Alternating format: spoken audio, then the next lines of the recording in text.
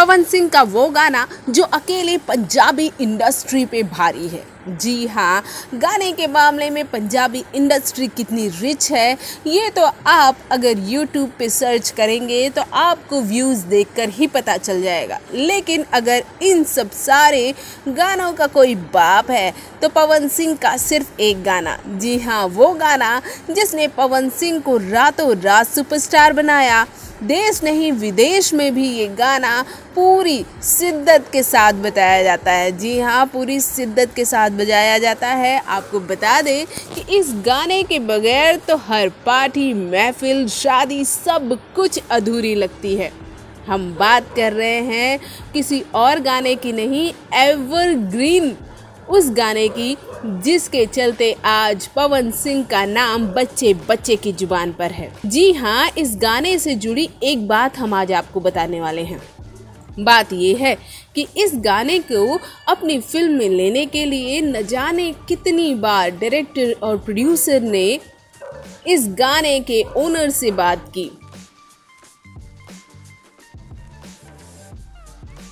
आपको इस गाने से जुड़ी एक बात बता दें। इस गाने को बॉलीवुड में फिल्माने के लिए न जाने कितनी बार कितने डायरेक्टर और प्रोड्यूसर ने अप्रोच किया। लेकिन इस गाने की डिमांड को देखते हुए आज तक इसे किसी भी बॉलीवुड फ़िल्मों में चांस नहीं दिया गया फिल्माए जाने का। जी हाँ जिस तरह से आप देखते हैं कि बॉलीवुड में किस तरह रीमेक का दौर चलता है, पंजाबी गानों का दौर चलता है, वैसे ही ठीक इस गाने के लिए कई डायरेक्टर और प्रोड्यूसर ने चाहा कि ये एवरग्रीन गाना सुपरहिट गाना उनकी फ़िल्म का हाईलाइट बने। लेकिन ये गाना क्यों किसी फ़िल्म में नहीं आया अब तक बॉलीवुड के किसी भी, क्योंकि इसकी जो लोकप्रियता है,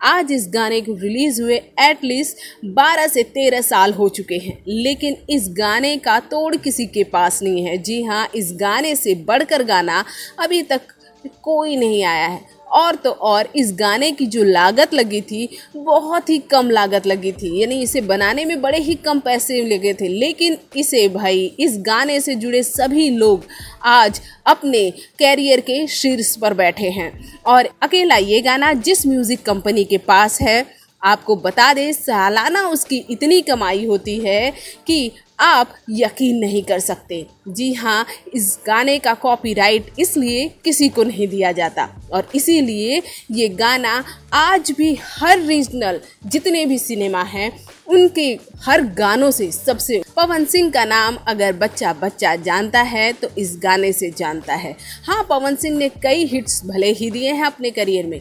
लेकिन सारे हिट्स इस गाने के बाद आते हैं। भोजपुरी जगत की हॉट और मसालेदार गॉसिप के लिए हमें सब्सक्राइब करना बिल्कुल ना भूलें